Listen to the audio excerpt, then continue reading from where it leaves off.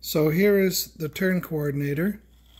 And what happened was that the bearings, which are stored behind this weighted gyro piece here, looks like it's made out of brass or bronze, um, they had dried out. And in that process, somewhere along the line,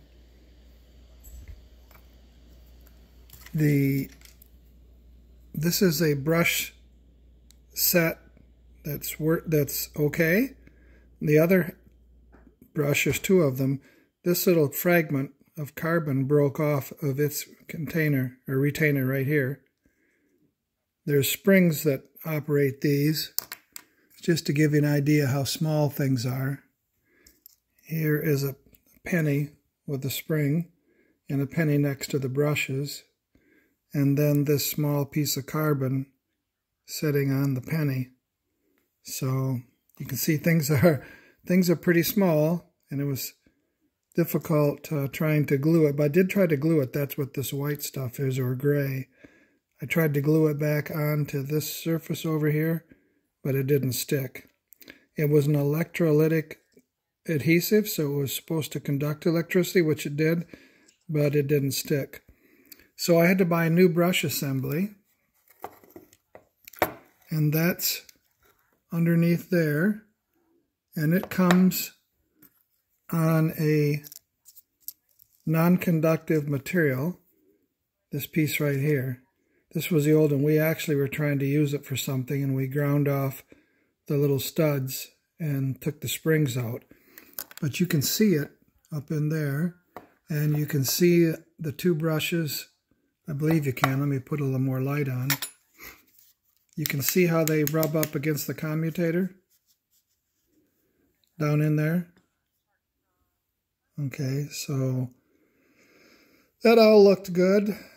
Um, it had two other weights. See those steel rings? Now there's only one on here.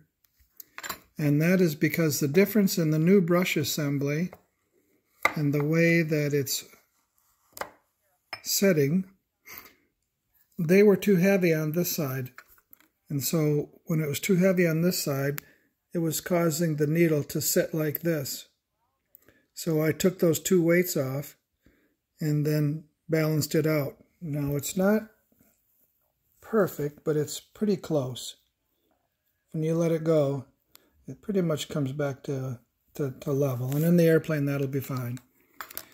So I had to uh, take off this screw, take off this weight, clean the bearings. They were pretty dry. Basically just grease them. They were a two-part race with ball bearings between. Reassemble. Install the new brushes that were here underneath this plate. And then in the process, I accidentally hooked it up wrong and burned up the ground wire. So I had to install this blue ground wire, much bigger than the wires that are in there. You can see how small these are, but I don't have wires that small. So this was number 22 gauge, and with its insulation, look how much bigger it is. But it's working now, and I'm just going to be reassembling. Oh, and then I, of course, I had to resolder the wires and feed them through for the brushes and they come out right here and then just solder them back to the circuit board. Uh, it was quite a job, but it worked well.